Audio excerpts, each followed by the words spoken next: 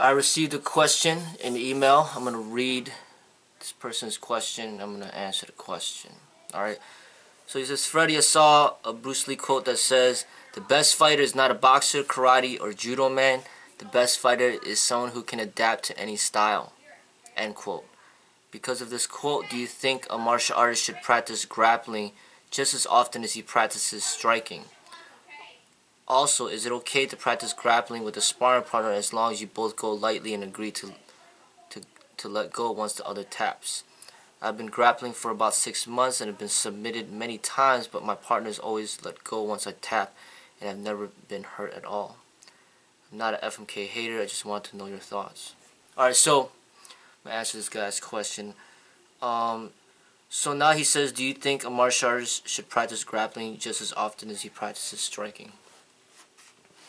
I think a martial artist should be well rounded in his development, not just in regards to the combative techniques, but he needs to train in the combative techniques as a whole, yes, in addition to a high emphasis on fitness, um, in addition to the spiritual training. So there's a lot of training involved. So meaning um, he should be trained, if you train two hours a day, and you divvy up everything up accordingly, there might be 30 minutes for fitness, right?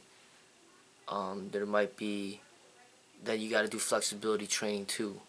I mean, you got cardio training, you got strength, you got cardio training, you got strength training, you got flexibility training. All right, you got um the combative training, and there's so much to train in the combative training. So everything deserves its, its time, you know and then you got the spiritual training. You know the inner reflection and the meditation and all of that. So like a martial artist should you know the stand-up fighting like primarily you want to perfect the stand-up fighting i say.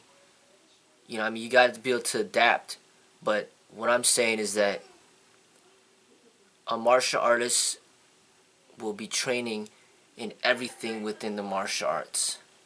Grappling is a part of a, a small part of it.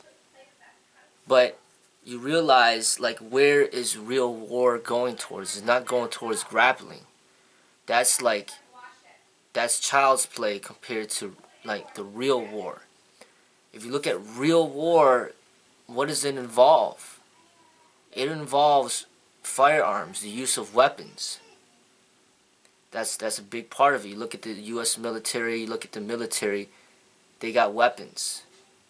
All right, so, and you saw with the way Bruce Lee expressed himself, he was mainly, he was expressing all stand-up fighting, all stand-up.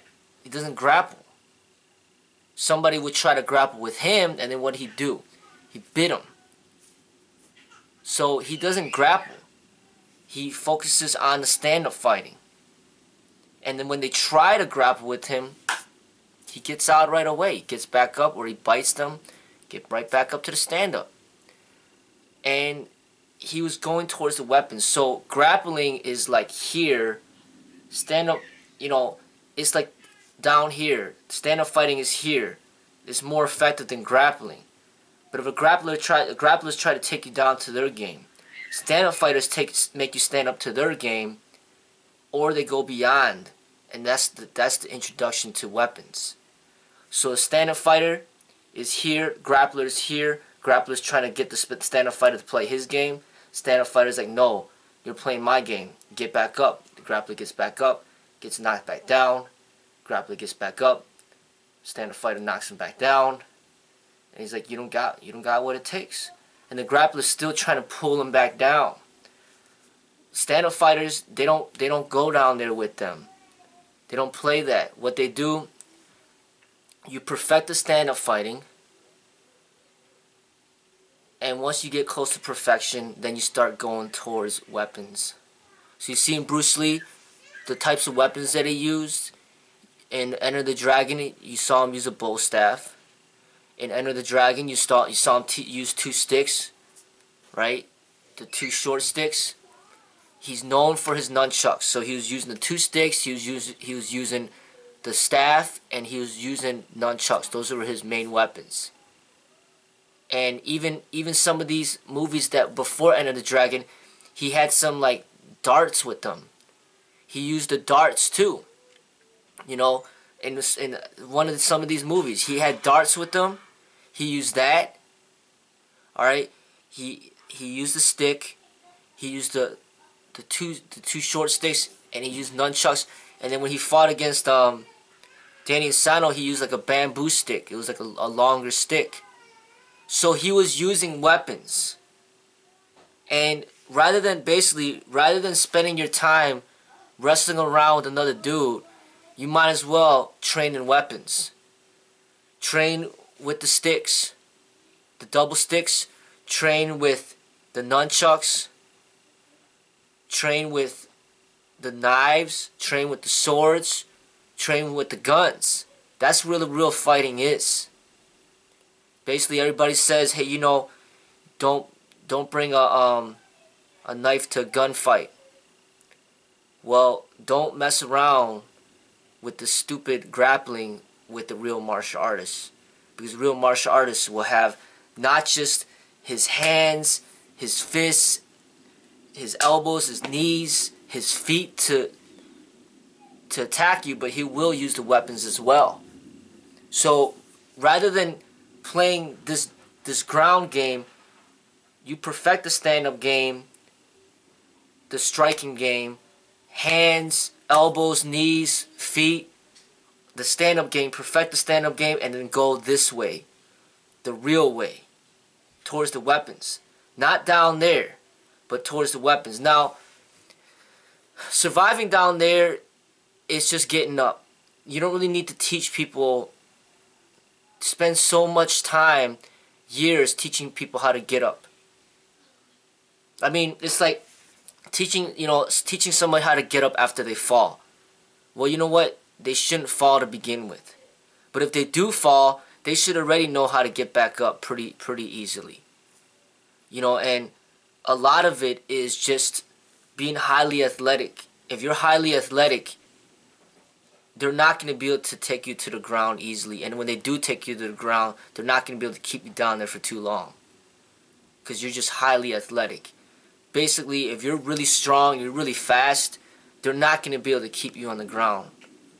First of all, it's going to be it's to be a, very hard for them to take you to ground, and even if they take you to the ground, it's to be very difficult for the for them to even keep you on the ground, especially when you're you're when when there are no rules in play, meaning you could bite, you could you could gouge their eyes, you could do whatever you want to do to them. You could fish hook them, you could do whatever you want to do. Pull their hair, pull their ears, whatever you want to do.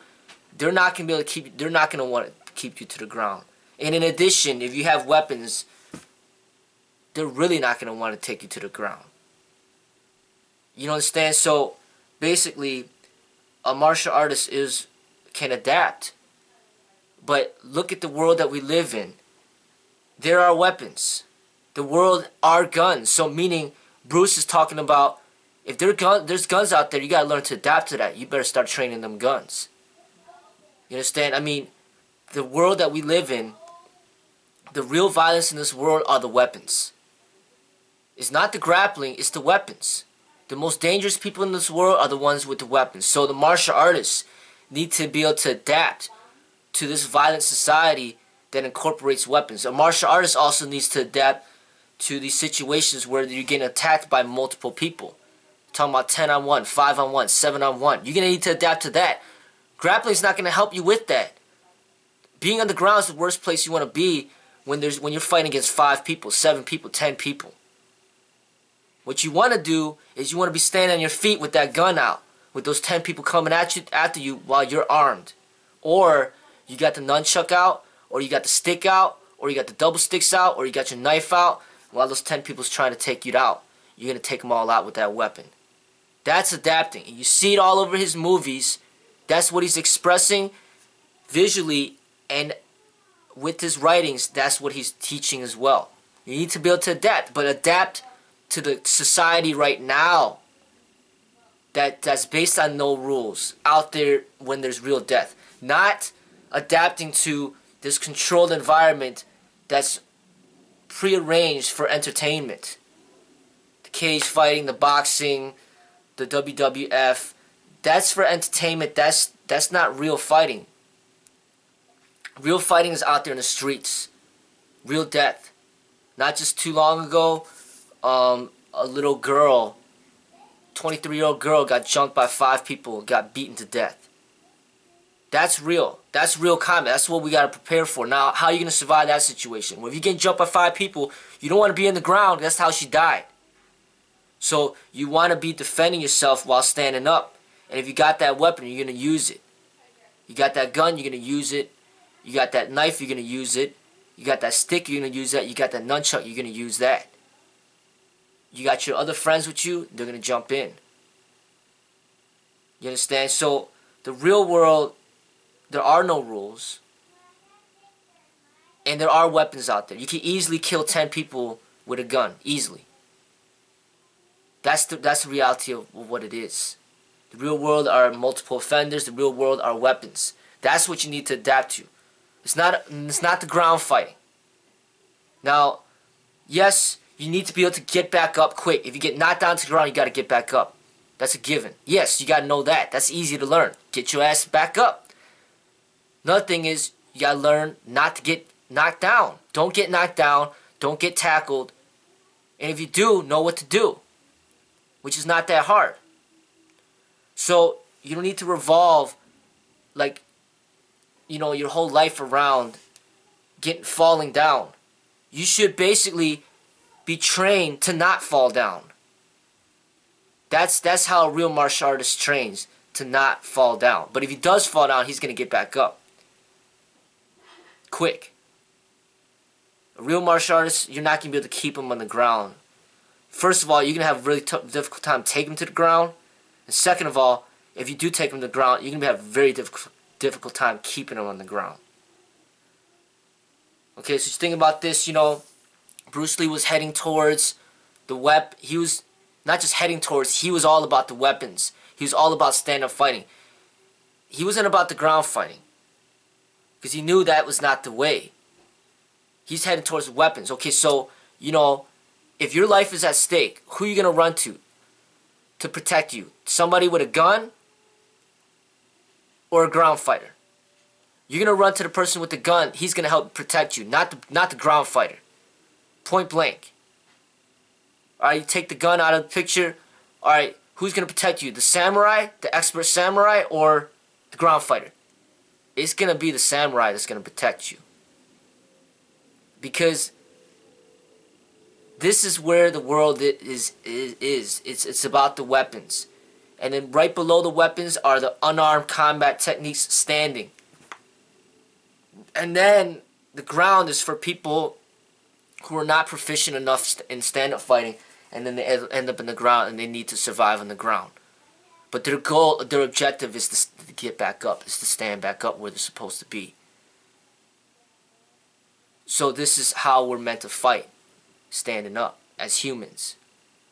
You know, and and really, if we do incorporate the ground fighting, we got to put it in a perspective of real combat for survival, which has no rules.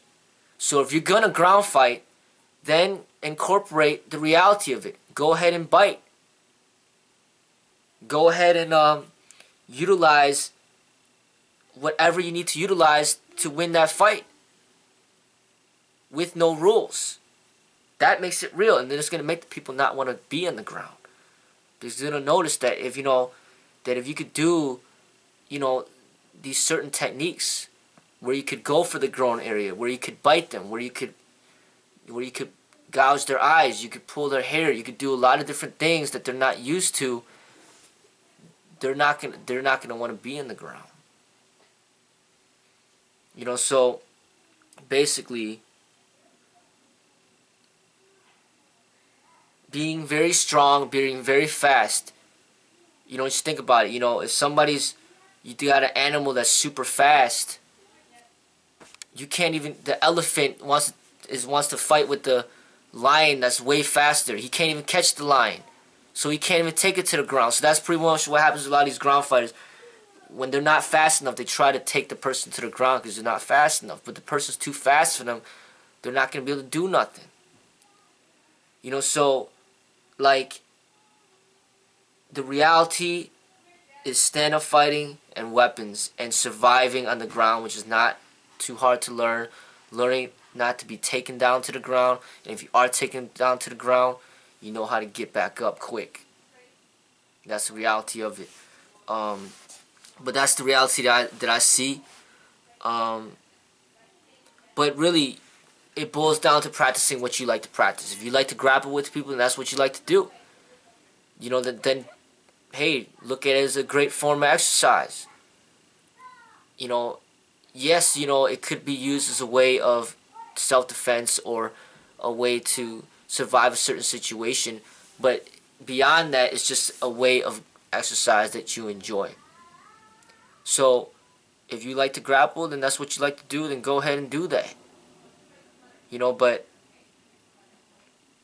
everybody's going to have their likes and dislikes. But what I'm saying is you want to practice something more relevant to the martial arts, then then then then it should be stand-up fighting with the strong focus on stand-up fighting and then weapons. You know, yeah, you could do the ground if you want to do it. Go ahead do that too.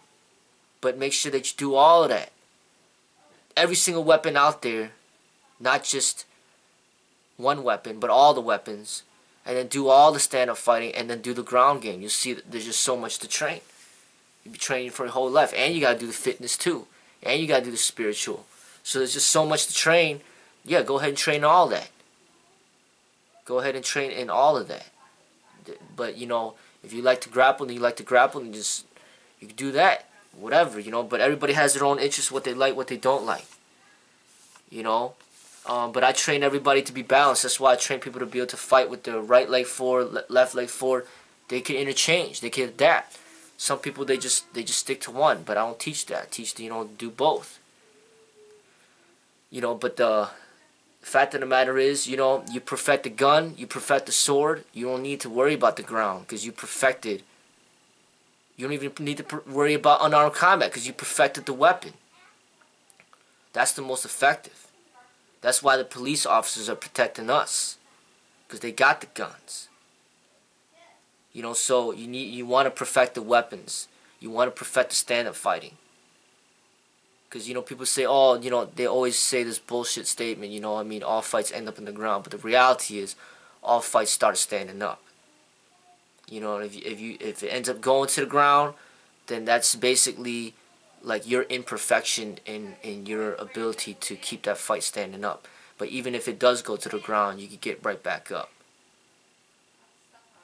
You know, but when it comes to multiple multiple offenders, I mean, um, you know, they tackle you down to the ground.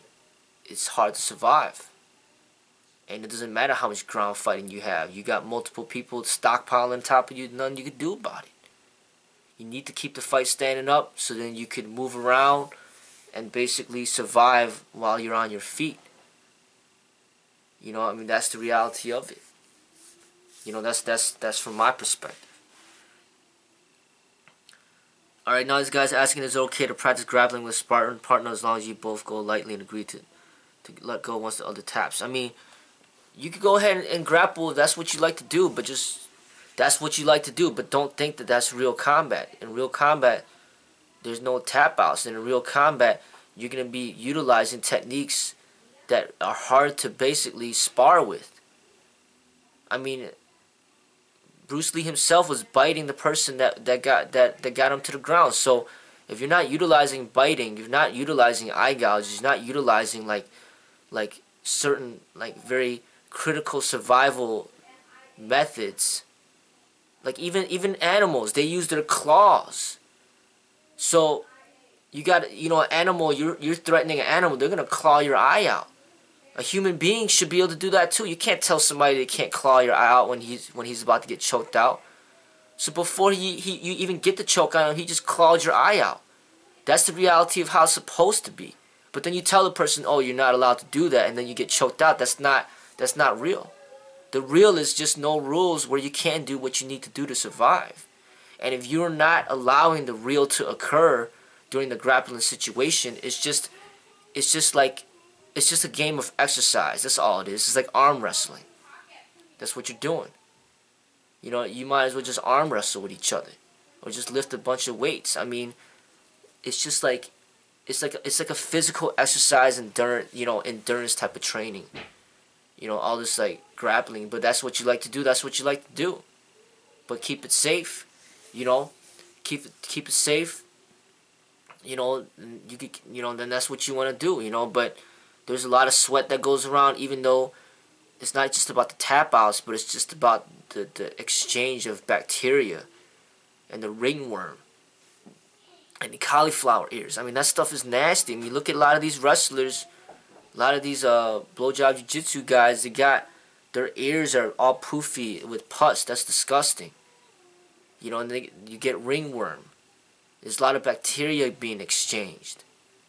I mean, it's disgusting. You don't want to be sweating sweating on top of another human being like that. It's not something that is enjoyable. But if that's what you want to do, then that's what you want to do. You know, but not is it it's not just about the tap outs and the chokes as well. You know I mean? You're putting your life in the hands of another person. You're you basically there's a lot right there. There's a lot of trust involved, but the guy's got you in a choke and you're tapping out and he let go. But what if he doesn't let go? He could easily just not let go. And you're trying to tap out and then next thing you know, you're dead. I mean, when you don't messing around with chokes is not something that you want to play around with. I mean, there's there there's a real life story where you know this person's um you know this this teenager's watching this WWF stuff, and then he he ended up getting his cousin like a 25 year old cousin into a choke. They got him in that rear naked thing, and then he killed him. Cause the cuz the bigger cousin didn't want to give up, and then he ended up choking him till the dude died. There's that aspect. I mean, you're you're talking about like taking somebody's breath away. That's that's extremely dangerous. It's not something that you play with. You know, it's dangerous. It's, it's, it's dangerous like, you know, doing a be- lot of weight on the bench press and then having somebody spot you and then he doesn't he doesn't spot you correctly and he kills you. Like you're benching 300 pounds and the spotter's not helping you and he just lets the weight drop on your neck and then you die. I mean, when you when you're dealing with like a lot of weight like that, that's extremely dangerous. When you're talking about grappling around with somebody involving chokes, that's extremely dangerous. Because you're talking about your life right here. So you gotta be very careful when you do with anybody. Because he doesn't have to let go. If he's got you in a choke, he doesn't have to let go. He could easily kill you right there. And say it's an accident. But wrestling is different. Wrestling doesn't incorporate chokes. You just it's just about pinning people. So it's not as dangerous. But choking somebody, that's not that's not that's not something to be played with. So that's something you gotta be careful with. You know, that's my opinion right there too with that. Um, you know, now he says been grappling for about six months. He's been submitted many times. All right, so that's not good. If you're submitting so many times, then there's something wrong there. You know, but I think a lot of times it boils down to fitness. You either don't have enough cardio, you don't have enough strength, you don't have enough speed, you don't have enough reflexes. So it's just kind of like when you're getting tapped all the time, when you when you tap it out all the time, it's just it's like it's like say your max bench press is 135 pounds, and then every time you go into the gym, you try to do you try to max out at 150 or you try to max out at 200. You're always gonna fail because you you you haven't built yourself up to do 200. You still your max is only 135. What are you doing under the bench press of 200? You're gonna fail every time.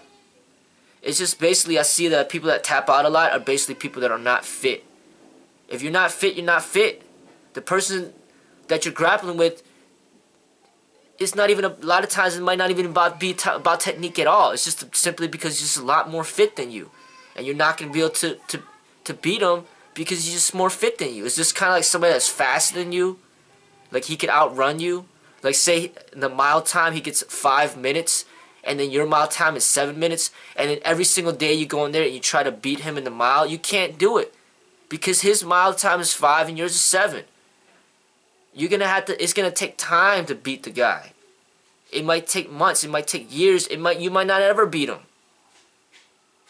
because he's so far ahead of you. Because he's got a five minute mile, you got a seven minute mile. That's two two minutes. That's a long time, and that's why you keep tapping out all the time. But it's just it boils down to fitness, a lack of fitness, and just acknowledging that this person has more fitness than me, and that's so then basically it just boils down to just training your fitness to get to a higher level to increase your chances of survival. That's the way I see it. The only reason you're tapping out, the only reason a lot of people tap out is just simply because they're tired. They can't, they're just winded. That's why they're tapping out.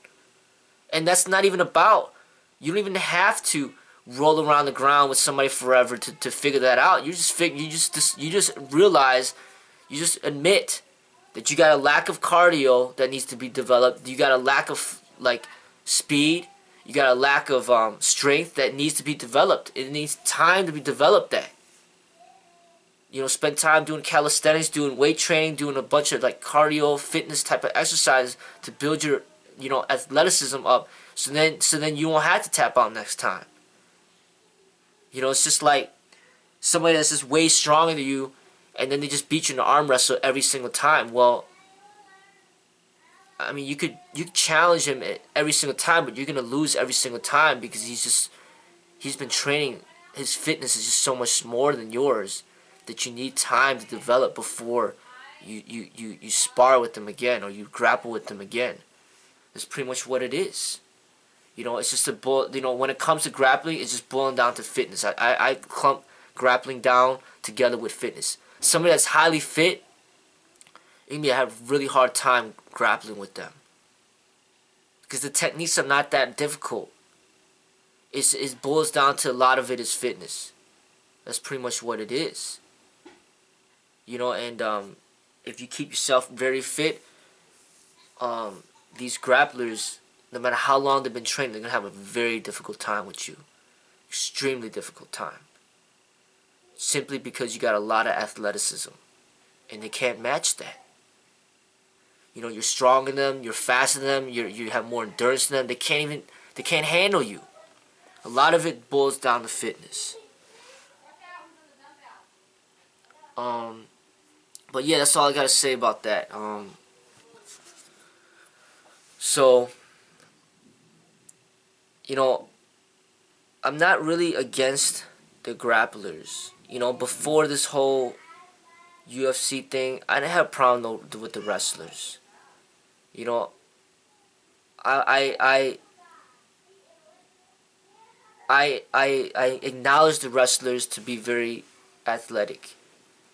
You know, I, I recognize the talent in the wrestlers. You know, before UFC even even existed, you know, I had a martial arts club and I invited some, you know, I allowed some wrestlers to join the club, and they contributed some positivity to the club, mainly, you know, like exposing the weaknesses of the stand-up fighting and what, you know, what things that they looked for in order to basically um, break down the ability of the martial artists, you know. Wrestlers, they they typically are very athletic because they train really hard. They get really strong. They get really fit. That's why their effect is not really the, the, the wrestling. It's just the, the fitness that they value puts them at so much an, an advantage over the the average martial artist because the average martial artist, average so-called martial artist is a very lazy idiot that doesn't spend any time in the fitness training. That's why the wrestlers have that advantage because they have so much fitness compared to the average martial artist. So I, I acknowledge the, the wrestlers for the talents that they have. I'm not really against the wrestlers. I'm against the ground and pound. You know, I'm a, I'm against the Rodney King with the police just beating on the dude. I'm against like like basically abusing your powers like hurting people more than you have to hurt them. I'm against taking it to the ground in a violent manner for competitive reasons, like for entertainment value. I'm against that. college wrestling, I'm fine with that. Okay, college wrestling rules, go ahead. Whatever. Boxing, hey, you know, you let them get back up, you give them a count of 10, they get knocked out three times, TKO. I'm cool with that. All right, let's keep it at that. I'm fine with that. But I'm not cool with this whole ground and pound, this whole UFC bullshit where they're tackling people down and just pounding. Not, I'm not. I don't agree to that. Just imagine if they did that in football. You know, like you tackle and on top of tackling them, you take off the helmet, you start pounding them in the face. I mean, what the hell is that? You know, you got them down on the ground already. All right, cool. That's down. Get let them get back up. Let's go to the next play. You know what I mean? Like, like I'm not. I just, I just, I, I just, I hate that ground and pound thing with a passion. That's encouraging people to take to escalate the violence before, escalate the violence beyond what is necessary. That's what I speak against. You know, so, but if the people like to grapple with each other, okay, that's cool. You know, whatever. You know, um, and I'm against the blowjob jiu-jitsu because they need people to ground and pound them in order to exemplify what they do. Because if the people don't ground and pound them, they're just a bunch of nobodies. A bunch of sissies that can't stand up fight. That are just, you know, they're they're worthless. You know, that I'm against the blowjob jiu-jitsus because they're exploiting the martial arts. They're they're turning it they're they're they're escalating the violence in order to exemplify what can possibly be done if somebody's like grounding and pounding you. This is how you could counter it. And they're and they're, they're taking it into an entertainment venue where you're they're profiting off of violence. I, I completely disagree with that. You know, and um if that's gonna be the case, you know, then we should exemplify the real violence which involves firearms and weapons and multiple offenders. Now, how are you going to survive against that? You know, and that's something that's the real. You know, I mean, um, people think grounding and pounding is dangerous. Well, there ain't nothing dangerous compared to somebody that's got a gun pointing at you or that has, you know, 10 of his friends that want to gang up against you or that have sticks running after you or pipes or bats well, what you think grounding pound is dangerous ain't none compared to all what I just mentioned. You know, so the real martial artist needs to prepare for the real dangers out there. Not just the grounding and pounding, but for the multiple offenders, for the pipes, for the beer bottles, for the bricks, for the guns, for the knives, for the swords, to the sticks, everything. To the brass knuckles. Alright? So, real martial artists have to see the bigger picture beyond all this entertainment bullshit out there. As far as WWE, cage fighting, boxing, Muay Thai, wrestling, it's just all for show. It's all for entertainment. The real deal are out there in the streets. Police officers have to deal with it. Alright? Bouncers have to deal with it. Security guards have to deal with it. Alright? The real things that happen out there where your life is really at risk. That's what real martial artists train for. And look at what happened. Look, look what's going on in the news. Look at all these shootings. Look at all these stabbings. Look at all these like ways that people are dying. That's what we need to prepare for. And that's what Bruce is talking about when he when he's talking about learning to adapt. Learning to adapt to your circumstances. So meaning, you know, if the law says it's okay to carry a gun, for your survival, then you better start carrying that gun. You better learn, learn to adapt to what the law says that you're allowed to do because that's going to increase your chance of survival. Because if everybody else has guns out there and you don't got a gun, you're the one who's the sit, you know, the sitting duck that's going to get shot. But, you know, you get armed and they're armed, now it equals the playing field. You understand? So, you, a lot of it is like knowing about the law, knowing, knowing about like, you know, what you can and cannot do out there, legally and illegally. But as far as the criminals are concerned, as far as the gangbangers are concerned, they don't care about the law. They really don't. They they really don't have restrictions, because the law says don't carry a gun. They carry a gun. The, the law says you know, um, don't kill. They kill. They don't follow the rules out there.